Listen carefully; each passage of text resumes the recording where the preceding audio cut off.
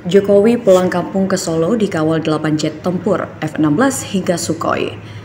Usai purna tugas sebagai Presiden Republik Indonesia, Joko Widodo pulang kampung dari Jakarta ke Solo, Jawa Tengah melalui Lanut Halim Perdana Kusuma pada Minggu 20 Oktober 2024 siang.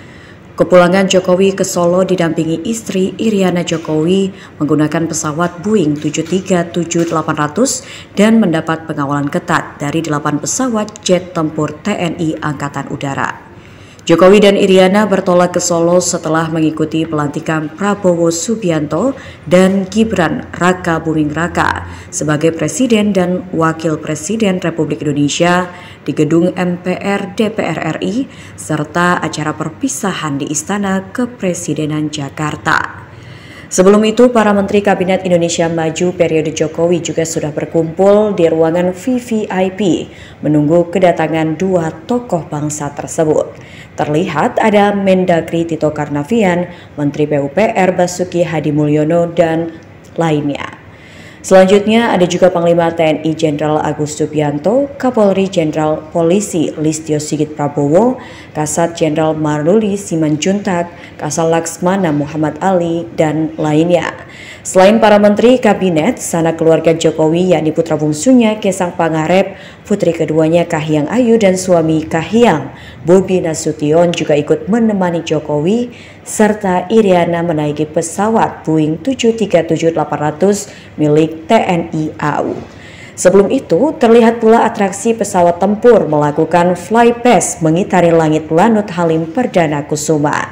Selanjutnya, para menteri ini terlihat membuat dua barisan dengan posisi bagian tengah dikosongkan untuk Jokowi dan Iriana berjalan. Tampak juga karpet merah sudah digelar untuk Jokowi di tengah panasnya sinar matahari.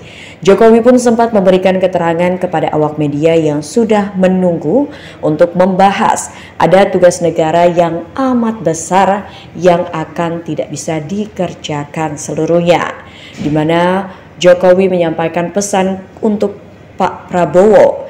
Oleh sebab itu, dirinya menyampaikan kepada Prabowo, ia menyerahkan seutuhnya impian, harapan cita-cita besar dari 248 juta rakyat Indonesia kepada Bapak Presiden Jenderal Purnawirawan Prabowo Subianto dan semoga beliau diberikan kekuatan untuk memimpin negara yang sangat besar ini. Setelah itu terlihat pula Jokowi dan Iriana menyalami para menteri-menterinya sebelum akhirnya naik melalui tangga untuk masuk ke dalam pesawat.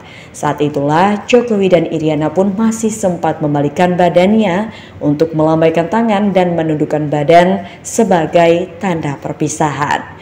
Tak lama kemudian, pesawat tersebut berjalan melalui landasan pacu dan akhirnya lepas landas. Dan tak lama kemudian, sebuah pesawat tempur juga ikut lepas landas.